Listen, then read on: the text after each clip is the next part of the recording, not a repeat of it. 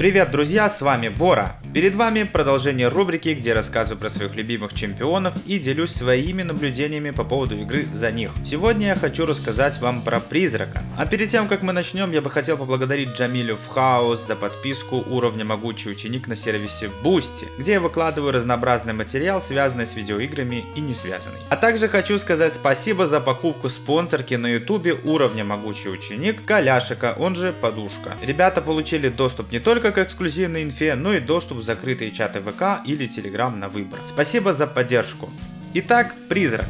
Нужна ли ей коронная способность? Да, нужна и желательно коронка где-то сотого уровня. Лично я прокачал призрака камнями и будильником и дико доволен. Благодаря коронной способности, помимо того, что вы начинаете каждый бой сразу в фазе, что дает возможность скидывать с себя негативные эффекты, вы также получаете ускоренный набор энергии каждый раз, пока находитесь в фазе и противник пытается нанести удар, делая промах. Вот за каждый такой промах вы получаете немного энергии. Однако призрака можно играть и без коронки. Пресловутый иммун, который выражается в скидывание кровотоков, отрав и прочего, когда вы переходите в фазу, все так же работает. Но здесь вам нужно в начале боя делать свайп назад. Боты тупят завидным постоянством, когда вы хотите развести их на удары, поэтому я разработал для себя несколько подходов для разных стилей ведения боя. Хотя чаще всего получается мешанина этих самых стилей для того, чтобы бой прошел как надо. Как же играть за призрака? Ее фишка как раз и состоит в режиме фазы. Если вы хотите полного погружения персонажа и максимальной отдачи,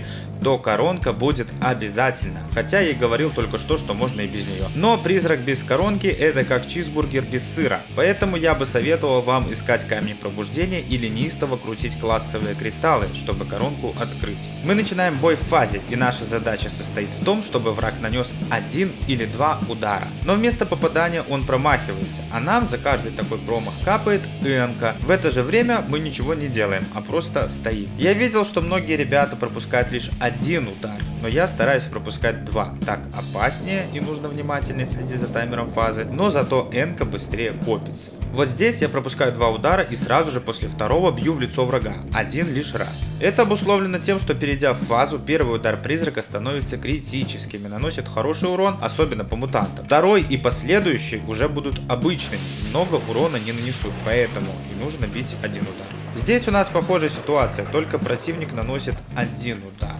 Данная схема более простая, и я бы рекомендовал новичкам игры за призрака выбрать для освоения именно ее. После того, как противник промахивается, вы наносите удар и свайпаете назад, чтобы снова перейти в фазу и снова попросить врага промахнуться. Вот, собственно, и вся наука игры за призрака, если сильно утрировать. Таким макаром набираем две полоски энергии, выбираем подходящий момент, делаем свайп назад для перехода в фазу и именно из фазы, не нанося ударов, активируем спецатаку, удары которые будут критическими и сочными. То же самое самое можно проделывать из первой спец, когда бой не очень долгий и у врага здоровья где-то 1050-60. Для того, чтобы атаки становились неблокируемыми, вам нужна оса в синергию. И на мой взгляд, оса является не просто брелком к призраку, а вполне себе крепким атакующим чемпионом, даже несмотря на хилый блок и пониженное здоровье. Играть за нее очень просто. Делаем комбо, вместо завершающего удара легкой или средней атакой зажимаем тяж и получается красота. На втором комбо после первого удара тяжи сдаем первую спец и к этому моменту наши враги либо издохли, либо потеряли достаточно много здоровья. Если противник относительно жирный, то работаем по той же схеме, но вместо первой спецули сдаем вторую, а там и криты порядочные,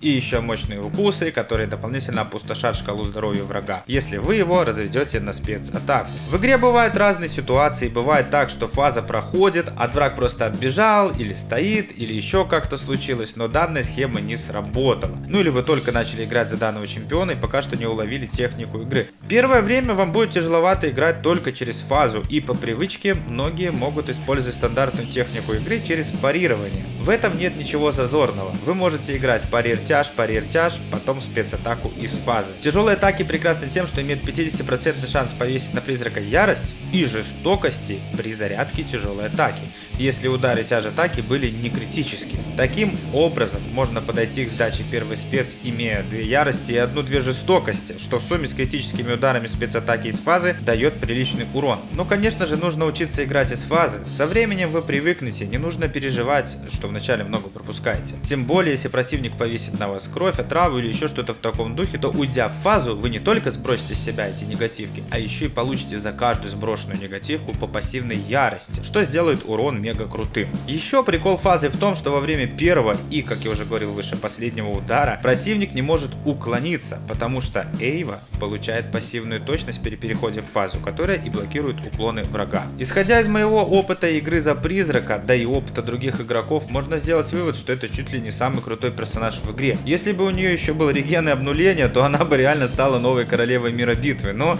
мне кажется, что это уже чересчур. То, кем она является сейчас, просто сказка, и что-то менять не нужно, ведь у нас стоят очереди из старых персов, которых нужно подтянуть к сегодняшним реалиям. Да, Кабам? У призрака есть один изъян, она боится пробития брони, поэтому будьте внимательны. Если на вас повесят пробитие брони, то она не сможет уйти в фазу и, как следствие, станет неюзабельнее железного кулака, хотя тот и наваливал в 2015 Отдельно можно отметить ее синергию с капюшоном, которая дает неуязвимость во время фазирования. Это будет полезно при прохождении заданий, где не избежать третий спецврага. Перейдя в фазу перед тем, как противник сдаст третью спецулю, вы не получите никакого урона. Пожалуй, это все, что я хотел вам рассказать про данного чемпиона. Если вам есть что добавить, то комментарий под видео к вашим услугам. Не забывайте поставить лайк и подписаться на канал, если еще этого не сделали. Большое спасибо за просмотр, с вами был Бора, пока.